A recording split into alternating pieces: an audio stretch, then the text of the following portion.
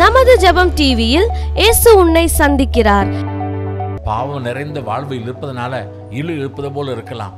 இப்படி சிறைச்சாலையில நிறைய அறைகள் உண்டு.